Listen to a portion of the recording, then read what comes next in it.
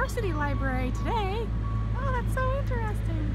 Yeah, and I found out that the two official languages in, in Belgium are Flemish and French, and they also speak a little bit of German. Oh, that's so interesting. That's a really cool library, Howard. Yep. You want, hey, Rattie, you want to see my trick? Sure. Okay, I'm, I'm going to turn myself into a T-Rex. Okay, go for it. At the count of three, the Snail, will be a T-Rex. Will you count? Mm -hmm. One, two, three. Ta-da! You're still a snail. Ah! I need to practice more.